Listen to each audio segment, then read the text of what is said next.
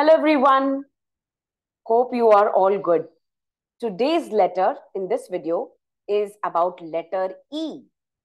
तो अगर आप नेटवर्किंग बिज़नेस में हो कम्युनिकेशन बिज़नेस में हो या कोई भी ऐसे जहाँ आप कनेक्ट होना चाहते हो ज़्यादा तो ये लेटर आपको बहुत ज़्यादा मदद करेगा letter E E for ears and definitely the letter e in graphology in handwriting analysis analysis stands for or is considered to be the ears or how we communicate and how we react isn't it amazing letter e से आप uh, you know actually improve कर सकते हो आपके communication skills and listening ability और मैं चाहती हूँ इनफैक्ट हर फ़ील्ड में एक इंसान को अपनी लिसनिंग कैपेसिटी बढ़ानी ही चाहिए यानी सुनने की आदत होनी चाहिए because I feel if you don't understand the person you cannot communicate to that person so be it any relationship or anything anything anywhere business हो या घर हो जब तक आप उनको समझेंगे ही नहीं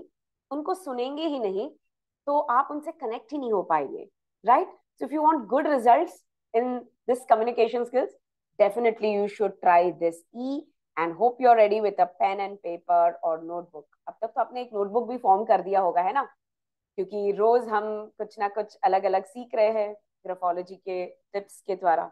तो ई e के कई फॉर्मेशन होते हैं। अगेन आई रिपीट कई फॉर्मेशन होते हैं। आज मैं कुछ फॉर्मेशन आपके साथ शेयर कर रही हूँ and I hope it's to help you चलो ready okay so this kind of E where this is filled up, the ei so इसको हम आई कंसिडर करेंगे। अगर ये फिल्ड अप है okay so this is like number one ये इस तरह का ई e जो लिखते हैं ना क्लोज्ड ई e, इसे कहते हैं closed E this person will not listen इसके अंदर लिसनिंग की कैपेसिटी नहीं है सुनने की आदत ही नहीं है ये सुनेगा ही नहीं. स्टबन भी हो सकता है है ना? Yes the another E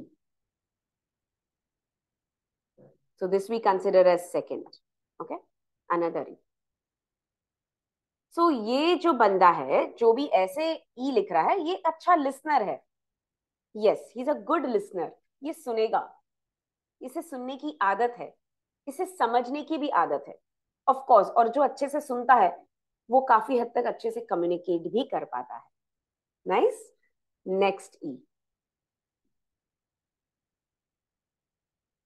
okay so this is a straight E अगर आप देख पा रहे हो तो। इस तरह का जो ई लिखते हैं yeah that curve you can see now this person can cure its acidity.